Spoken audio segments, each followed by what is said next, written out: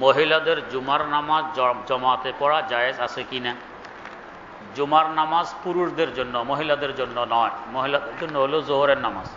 তারপরও যদি কেউ এসে জুমা পড়ে, আদায় হয়ে যাবে, কিন্তু সওয়াব কম হবে। তার ঘরের ভিতরে জোহর পড়লে সওয়াব বেশি হবে। মানুষ তো বেশির জন্য চেষ্টা করে। এখানে অল্প মেহনতে বেশি সওয়াব পায়। আমি বেশি মেহনতে অল্প সওয়াবের জন্য কেন মসজিদে আসব? এ তো যুক্তির কথা নয়। প্রশ্ন সমবায় সমিতিতে সুদ না নিয়ে নিরাপত্তার স্বার্থে টাকা জমা রাখা যাবে কি না? যাবে। প্রশ্ন, রাসুলের পাক সাল্লাহ আলাইহে ওয়াসাল্লামকে সৃষ্টি না করলে আল্লাহ পাক কিছু সৃষ্টি করতেন না। আপনি বলেন, হাদিস দ্বারা প্রমাণিত নয়। তবে অনেক আলেম ওলামারা কথাটি বলে থাকেন, এই সম্পর্কে জানতে চাই। আমি এখনও বলি, এটা হাদিস নয়। এটা কারও বানানো কথা। যারা বলে, হয়তো তাদের তাহাকিক নেই। প্রশ্ন, হকমানি আলেমগণ ডাক্তার জাকের নায়ককে সমর্থন করেন না কেন?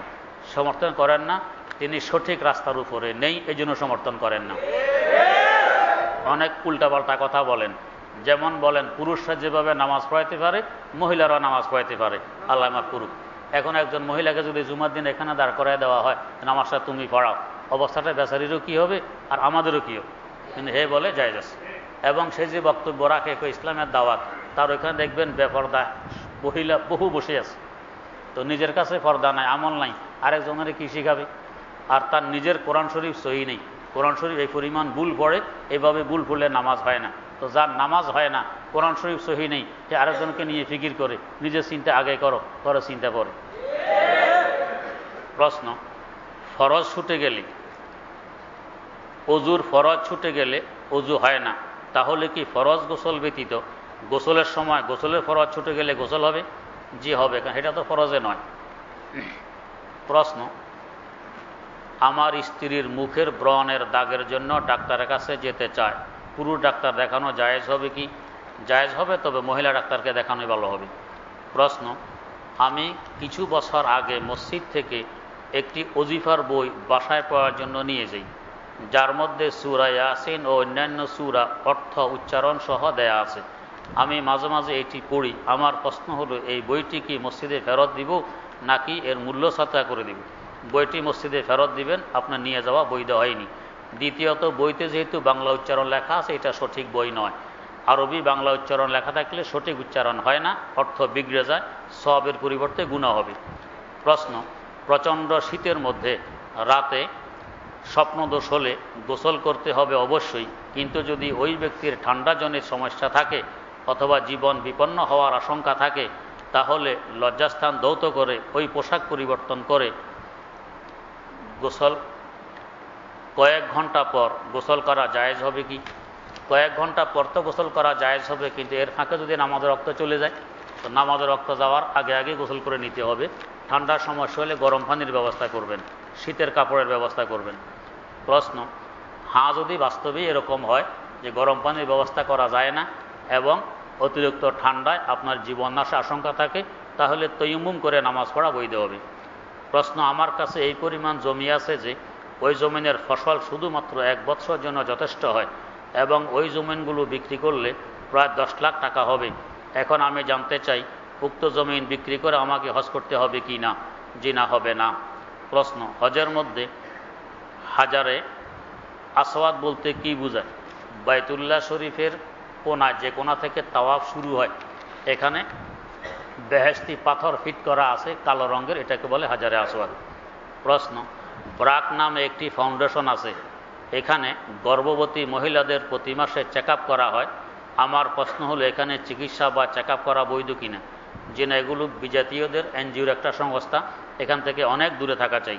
প্রশ্ন, মহানবী সাল্লাহ আলাইহি ওয়াসাল্লামের কি কি সুন্নত পালন করতে হয়? সুন্নতগুলোর নাম কি? হাজার হাজার সুন্নত আছে। এই এক বসা এগুলো আপনি, না আমি বলতে পারব, না আপনি শুনে মুখস্থ রাখতে পারবেন। প্রিয় নবীর প্রিয় সুন্নত, এই ধরনের আরও বহু সুন্নতের কিতাব আছে, এগুলো আপনি পড়বেন। প্রশ্ন, আমি যে পোশাক শিল্পে চাকরি করি, তার চারপাশে মহিলারা ও চাকরি করে। কিন্তু আমার প্রশ্ন হলো, যেখানে চাকরি করা, এখানে চাকরি করা বৈধ হবে কি না পর্দা লঙ্ঘন করে চাকরি করা বৈধ নয়। প্রশ্ন নামাজ পড়ার জন্য কি পোশাক পরা উত্তম? ইসলামী পোশাক পরা উত্তম, যে পোশাক আল্লাহ আল্লাহ রাসুল সাল্লাহ আলহি ওয়াসাল্লাম পছন্দ করেন। প্রশ্ন, আমি দিন সম্পর্কে অজ্ঞ ছিলাম, যার কারণে মেয়েদের প্রতি আসক্ত ছিলাম। এক পর্যায়ে এক মেয়ের সাথে সম্পর্ক করি এবং তার সাথে জিনায় লিপ্ত হই আলায়াজুবিল্লা পরে তাকে আমি বিয়ে করেছি। এখন আমার প্রশ্ন হলো, আমি কি এই জিনার গুণা থেকে মাপ পেয়েছি?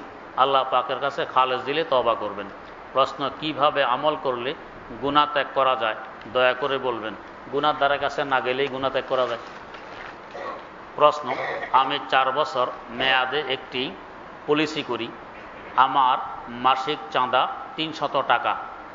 আসল হয় চোদ্দ হাজার ছয়শত টাকা। মেয়াদ শেষে পাবো বিশ হাজার টাকা।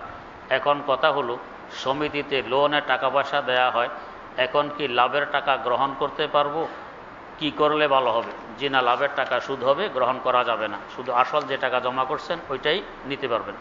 প্রশ্ন, রক্ত কি নাপাক? শরীরে মশা মারার পর কাপড়ে যে রক্ত লেগে থাকে, তার জন্য কি করতে হবে? রক্ত তখন নাপাক হয় যখন রক্ত বের হয়ে গড়িয়ে পড়ে, তখন নাপাক হয়। গড়িয়ে পড়ার আগ পর্যন্ত নাপাক হয় না। আর মশা যে পরিমাণ রক্ত তার পেটে ধারণ করতে পারে, এটা গড়িয়ে পড়ার মতো নয়। এই জন্য এটা কাপড়ে লাগলে নাপাক হবে না।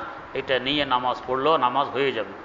প্রশ্ন, আমার স্ত্রীর সাথে কথা ছিল, তার দেনমোহরের টাকার পরিবর্তে তাকে হজ করাতে হবে। আমার প্রশ্ন, তার দেনমোহন কখন আদায় হবে? হজ করানোর পর নাকি হজার টাকা জমা দেওয়ার সাথে সাথেই? হজ করানোর পর। প্রশ্ন, আমাদের মা বোনেরা যারা পর্দা করেন, তারা তো চোখ খোলা রাখেন। আমার প্রশ্ন হলো, চোখ খোলা রাখা জায়েজ আছে কি না পথ চলার জন্য যেতুরুক রাখতে হয় এতুরুক রাখা জায়েজ আছে। এর বাইরে জায়েজ নেই। আর বিনা কারণে বাইর হওয়ায় জায়েজ নেই। বাজার সদা ইত্যাদি পুরুষের দায়িত্ব, মহিলাদের নয়। আজকে তো মুশকিল, সব দায়িত্ব নিয়ে গেছে মহিলারা। আর পুরুষরা হয়ে যেতেছে অলস, যার কারণে ডায়াবেটিস রুগী প্রায় পুরুষ। ডায়াবেটিস। আপনি পরিশ্রম করেন, ইনশাআল্লাহ পাক রোগ থেকে হেফাজত করবেন। শরীয়ত অনুযায়ী চলার কারণে সবও পাইবেন। প্রশ্ন, আমি মাদ্রাসার নিচে জমাতের ছাত্র, আমাদের কিছু ভাই আছে, তারা দাড়ি রাখে। ছোট করে। আমি তাদেরকে বললে, তারা বলে, হাদিসে আসে দাড়ি লম্বা করো মোষ খাটো করো। সেখানে তো এক মুষ্টির কথা নেই। তো লম্বা করার কথা তো আছে, যত লম্বা হয় ততই করতে হবে, কাটার কথা তো নেই। তো ছোট করে যদি রাখি, কাটে, কাটার কথা কোথায় ফেলেন প্রশ্ন, আমার পড়াশোনায় মন বসে না, আমার জন্য দোয়া করবেন, আমিন। প্রশ্ন, আমার মুখে জড়তা আছে রব্বির সাহালি সদরি দোয়াটা বেশি বেশি পড়বেন। প্রশ্ন, জুমার নামাজের নিয়ত কীভাবে করব। এগুলো ব্যস্তে যাওয়া দেখে নেবেন তালিমুল ইসলাম দেখে নেবেন। প্রশ্ন, অনেক মসজিদে মাগরীবের আজানের পর দশ বারো মিনিট মাসালা মাসাল আলোচনা করা হয়। এটা মাকরু। দুই রাকাত নামাজ পড়তে যে পরিমাণ সময় লাগে, এর থেকে অধিক দেরি করলে মাকরু হয়। হেদায়াতে মশালাটি উল্লেখ আছে। প্রশ্ন, আপনি গতকাল বলছিলেন যে ব্রেনের জিকির আল্লাহর সৃষ্টি নিয়ে চিন্তা করা, একটু ব্যাখ্যা সহকারে বললে ভালো হয়, পরে দেখা করবেন। প্রশ্ন আমার স্বামী একজন পুলিশ অফিসার, সে ডিউটি শেষে আসলে কাজের মেয়েটাকে দিয়ে পা টিপায়। এটা কি ঠিক? যে না, হারাম হবে, কবিরা গুণা হবে।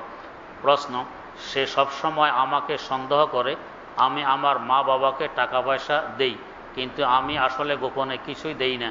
তারপরও সে আমাকে সন্দেহ করে। এই অবস্থায় আমার কি করা উচিত? আল্লাহ পাকের কাছে দোয়া করবেন যাতে সন্দেহ দূর হয়। প্রশ্ন, কোনো মেহমান আসলেও কাকে কি দেই? কে কি খায়, এসব খোঁজ খবর সে নিয়ে থাকে। আমি কোনো মেহমানদারিও করতে পারি না। মেহমানদারি তিনি থাকলে তার সামনেই করবেন। প্রশ্ন, নামাজের শুরুতে সানা করতে হয়, এটা কি সোভানাক আল্লাহুম্মা হবে না সোভানাকা আল্লাহুম্মা হবে? সোভানাক কাল্লাহুম্মা হবে, আল্লাহুম্মা না কাল্লাহুম্মা হবে। প্রশ্ন, সুরে হাসরের শেষ তিন আয়াতের শুরুতে পরে আরৌজুবিল্লাহ হিসামি ইল আলিম, নাকি আসামি আরৌজুবিল্লাহ হিসামি ইল আলিম পড়বেন। প্রশ্ন, আমাদের এই মসজিদের ভিতরের দক্ষিণ দিকে কিছু লোক নিয়মিত নামাজ পড়তে আসে, কিন্তু তারা এসে এত জোরে কথা বলে, যার ফলে অন্য ব্যক্তির নামাজ মাগরীবের পূর্বে মোনাজাতের সমস্যা দেখা দেয়। কথাবার্তা এমন আসতে বলা ভালো। মসজিদে তো জোরে বললে নামাজের যদি ব্যাঘাত ঘটে তো গুণ হবে। প্রশ্ন, গতকাল অত্র মসজিদে বিবাহ হওয়ার পরে খেজুর ছিটানোর কয়েকজন মুসল্লিকে বলতে শুনেছি যে, এমনভাবে খেজুর ছিটানো একটি ফালতু কাজ। অতএব হুজুরের নিকট আমার প্রশ্ন হল, ইসলামের দৃষ্টিতে বিবাহের পর খেজুর ছিটানো কেমন? বাইহাকি শরীফ একটি হাদিসের কিতাব আসুনানুল কোবরা হল কিতাবটির নাম। এই কিতাবে উল্লেখ আছে, হুজুর সাল্লাহ আলাইহে ওয়াসাল্লাম এবং সাহাবাদের জমানা এভাবে খেজুর ছিটানো হইতো বিয়ের মধ্যে। এই হিসাবে ছিটানো হয়। তবে যদি বেশি গোলমাল হয়, তো না ছিটানো চাই। প্রশ্ন। অনেকে বলে, কপালে হাত রেখে ঘুমানো ও গালে হাত দিয়ে বসা ঠিক না, কথাটি ঠিক কিনা? এটা হাদিস কোরআনের কথা নয়।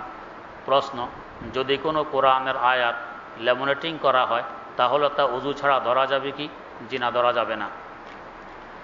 আলহামদুলিল্লাহ রবিল আলমিন। ওসলাত ওয়াসালাম আলা আশরাফিল আম্বিয়া এওয়াল মুরসালিন। سيدنا ومولانا محمد وعلى آله وأصحابه أجمعين. ربنا آتنا في الدنيا حسنة وفي الآخرة حسنة وقنا عذاب النار.